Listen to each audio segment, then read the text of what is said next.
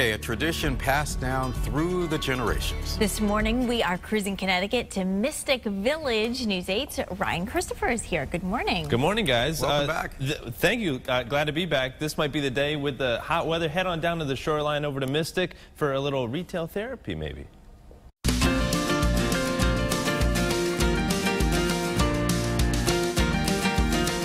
Uh, it was my grandfather, and my mother, and my uncle. Started in 1963. A lot of people who have grown up here in Connecticut have been here as kids growing up or maybe coming back again with their families. So what does it mean to you to see different generations through the years back here? It's exactly what my grandfather and my mother wanted for people to come and enjoy the village. It's just great to watch families come back with memories. And then how about the duck pond over here? This is one of the popular things that people visit when they stop on by. Do you have a favorite duck? Do you personally name them or?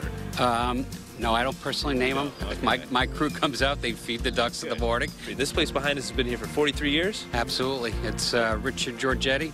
I even grew up with her, his kids, and his kids work inside the store. These enamel copper, they're made right in Cheshire, Connecticut. It's, we also carry pewter that's made in Woodbury, Connecticut. So, Chris, Mystic Village here is really known for its old world feel, but uh, you have some new restaurants coming in. Absolutely. We have the uh, Jealous Monk that opened up in August. They have 32 craft beers on tap on the inside, and then they have uh, 32 craft beers outside in their beer garden.